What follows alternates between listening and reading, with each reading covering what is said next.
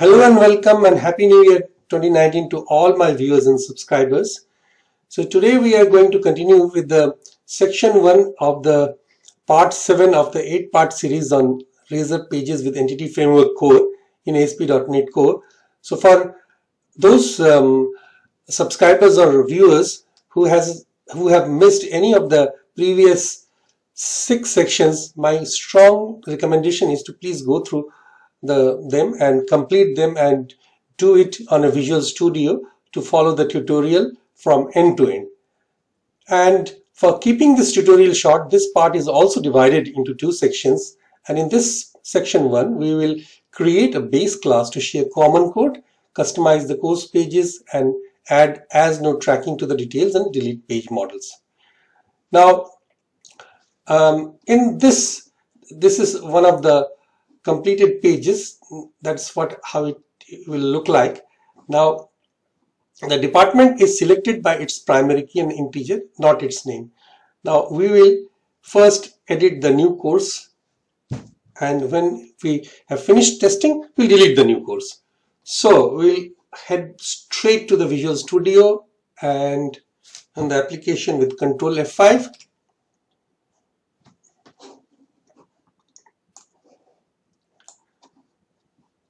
so let's click the courses tab create a new one. Give it any number 1111 2 title. Let me abbreviate artificial intelligence with AI oh see the data annotation. So the title must be a string with minimum length of 3 and a maximum length of 50 so I'll have to it will not allow me to create unless I obey the rules of the validation which is minimum three characters. So artificial intelligence is the full form. And let me say the credit is 8 credits.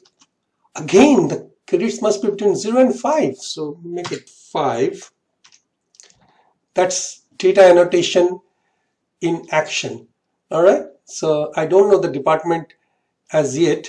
So I'll just give it an arbitrary say ID of three, two and create it. So this is artificial intelligence. Now I can see the details. Then go to edit I can make it say four credits change the department to say three department and save it. So there it is. All these changes are reflected and I'll now delete it and move on to the next part. Okay. So now the instructor page will look like the, this adjacent figure after the completion of both the sections. Mind you, after having completed this section and the next section of the part 7. Now, heading back straight to the Visual Studio 2017, I will create a base class to share common code. So, went back to this and then I have got a code from the Microsoft documentation and I will create on the courses folder a class add a class and name it department name page model. So department name page model. Right So in this department name page model, I will highlight all the generated code and write it over with the code that I have on my clipboard. Now here I see that there is a school context type of name space name school context could not be found. Are you missing uh, using directive or an assembly reference? So show potential fixes. What are the fixes? So using this using was missing. So it has automatically added using Contoso University dot models, which was the namespace required to make it happy. Now this code this creates a select list to contain the list of department names. Now, if the selected department is specified, that department is selected in the selected list. Going back to the code, so this is a select list, department name SL. Now, as we said, that if the selected department is specified, that department is selected in the select list. More of that later when you test it. Now, the create and edit page model classes will derive from the this class name page department name page model. Head on to the next slide. Now we will create, uh, I will customize the courses page rather. So when a new course entity is created, it must have a relationship to an existing department. So can a course exist without a department? No. So it has to have an existing department.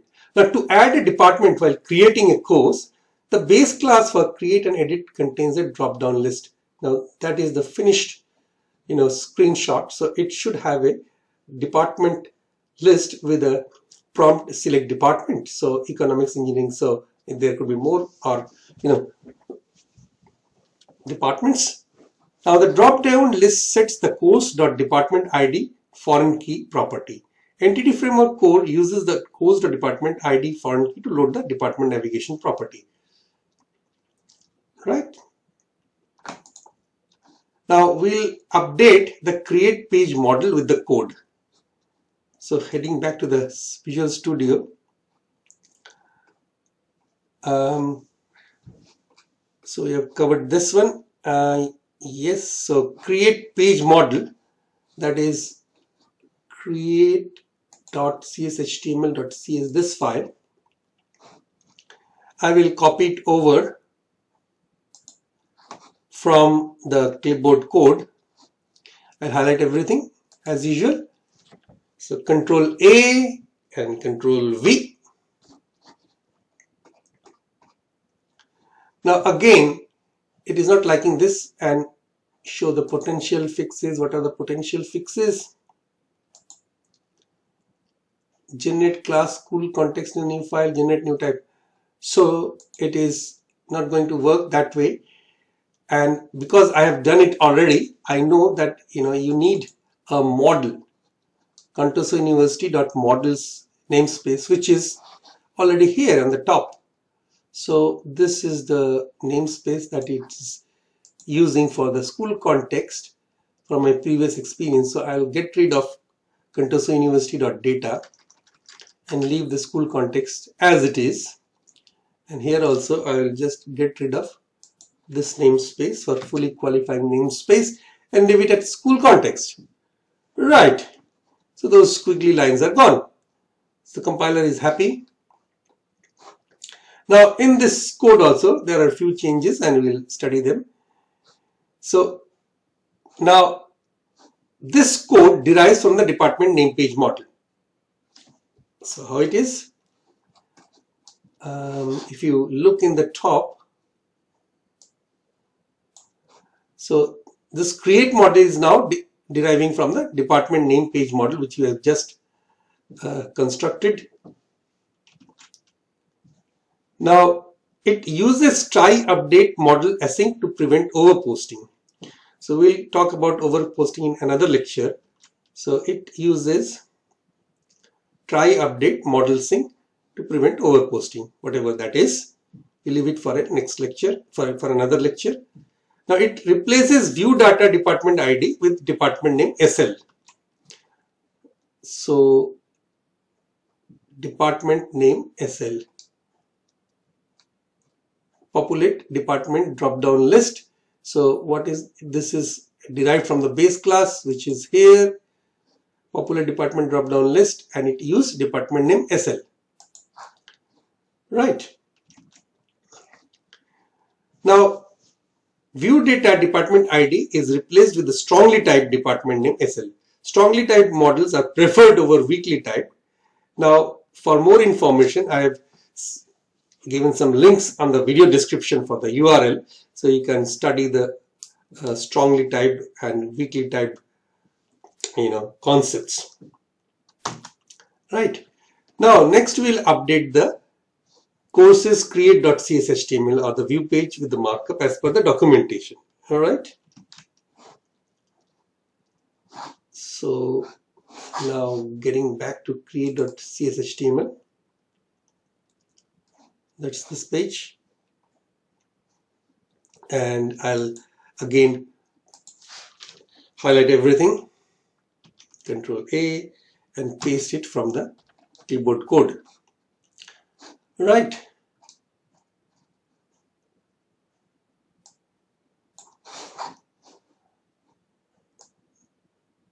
Okay.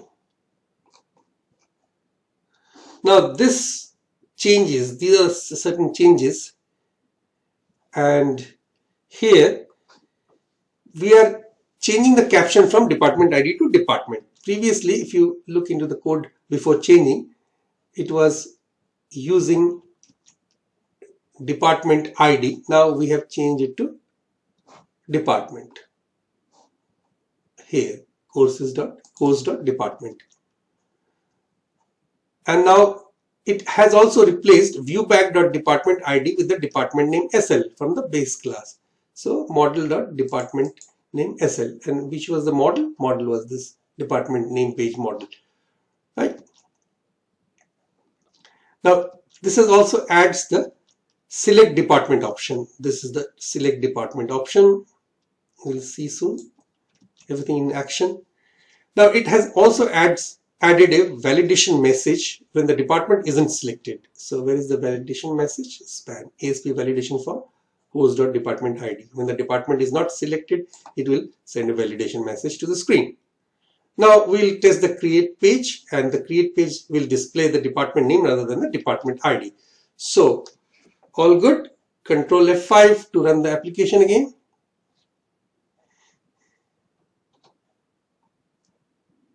The application page is loaded in the browser. Now I'll click on create new. There you are. Department, select department. Now I've got all these department listed nicely as opposed to the department IDs before which would make it useless for me as a user because I would not know which each of these um, IDs will be represented by which, which of these you know actual department. Next is now we'll update the course edit page. Okay, so again we'll follow the documentation, update the course edit page. So I have got it again on my notepad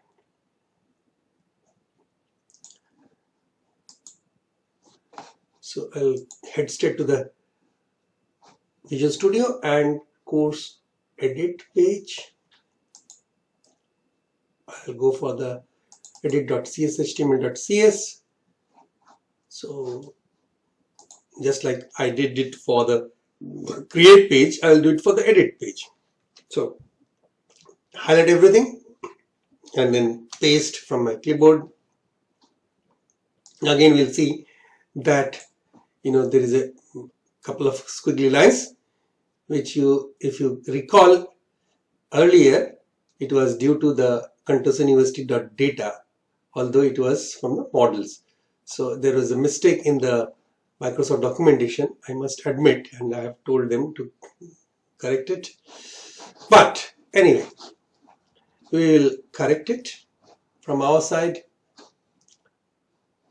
uh, just like how I did earlier with the create page I will just get rid of the fully qualified namespace and leave it as school context and it will take care because I have already included Contoso University models. Right. So now these changes are similar to those made it made in the create page model as you could understand or you will I mean infer in the preceding code the populate departments drop down list passes in the department ID and which selects the department specified in the drop down list. Now I will have to next do the update for the CSHTML page or the markup page. So what I will do, I will go to the edit.cshtml, which is uh,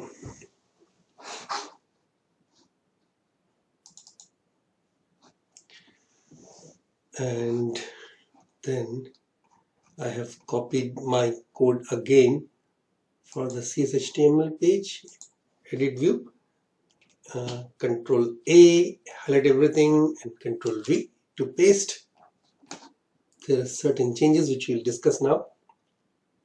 Before that, we'll try to run this application and build this application with Control Shift B as hotkey. Everything is fine, then we'll move on.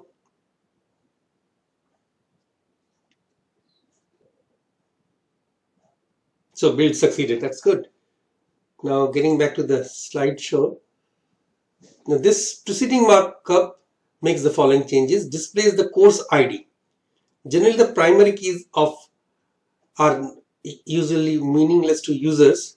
In this case, primary key is the course number, however.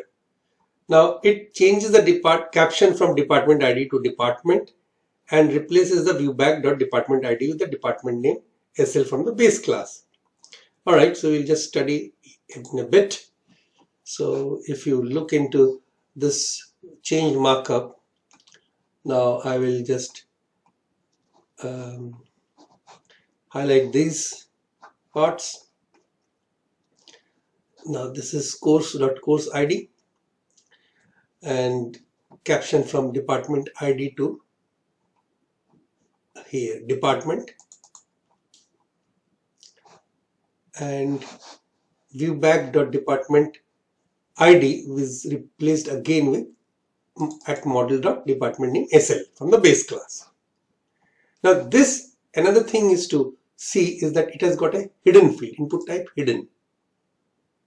Because we don't want to display the course ID uh, and adding a label tag helper with ASP for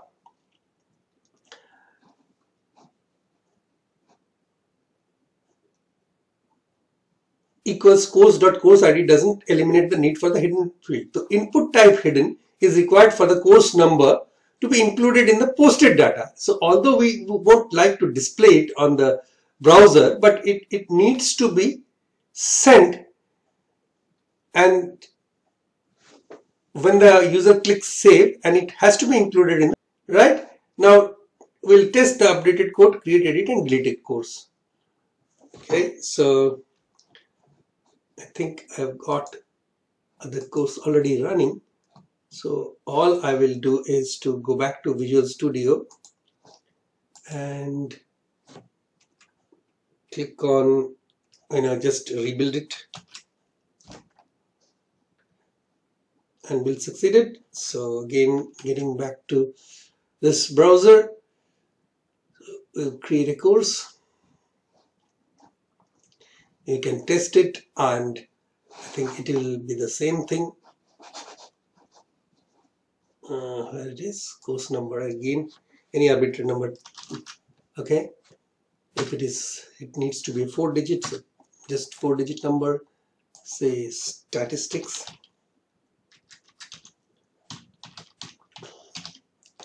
Credits two credits or three credits or anything and it will be in the mathematics department. So click on mathematics and create.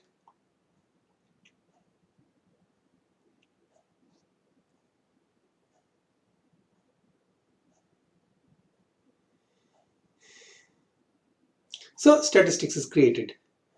Now we can edit, make it say 4 credits, click on save. Okay, and we'll now see the details. And see the details everything title credit department and back to the list. And then we'll delete this course. Okay? Right. So the final thing today is the final thing for today is add as no tracking to the details and delete. So what does that mean? Now as no tracking can improve performance when tracking is not required we'll now add as no tracking to the delete and details page. Why the delete and details page? Because they don't need to be tracked. So every time an item a row is deleted it doesn't need to be tracked because you're not saving it. You're just deleting. And the details page model is also is just retrieving the data from the database. So anything which doesn't involve you know saving to the database you can get rid of the add as no tracking method. So we and we start with the updated delete page model and next update the on gets async method in the pages course details.cshtml okay. So modify the delete and details page with first doing the update on the delete razor page and do it similar to the details page. Okay. So going back to the code straight away. Um,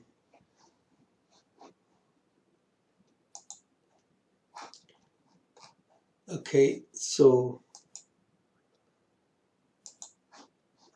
I will do the delete page first. So where is the delete page model? delete.cshtml.cs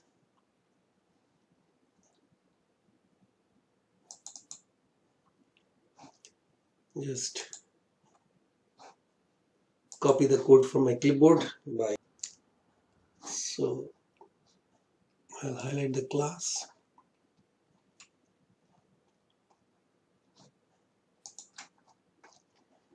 and copy it over from the clipboard code. And then get rid of this contoso university.data which is again uh, wrongly typed in the actual Microsoft document on which this course is based but however we know it so again and we can save the file. Now we've already done it for the delete page and then we'll go to the details page and do the similar things. So details.cshtml.cs yeah. So copied the code from the Microsoft documentation on get async that only needed to be changed now finally I'll have to update the delete razor pages and the details razor pages. So first of all, delete dot HTML and then highlight everything and paste from the clipboard. Okay. So there is a header. Are you sure you want to delete this? That's fine. So the only changes are these course id course dot course id and similarly I will do it for the details page so uh, details dot cshtml now you can see that that that within dt and ndt it is course dot course title. So I'll go get back to the delete view and copy these two blocks of code. Copy and get back to the details page and on top.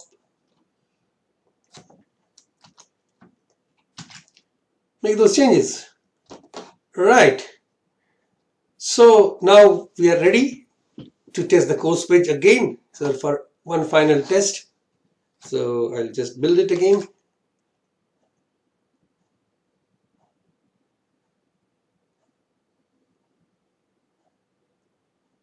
Build succeeded. All right. So great courses now. I'll refresh the browser now you have to create edit details date everything will test. Create new.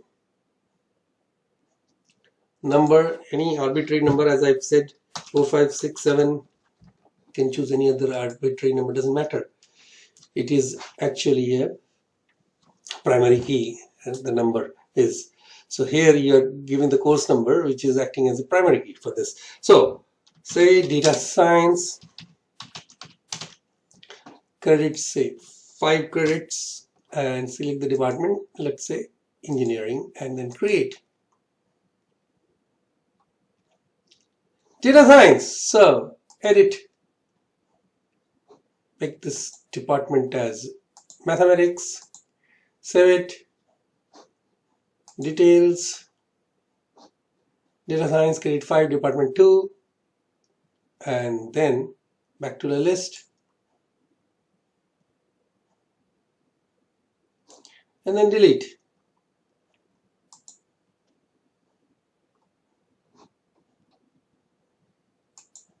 Yeah. That's it. Thanks for watching. See you next time. Bye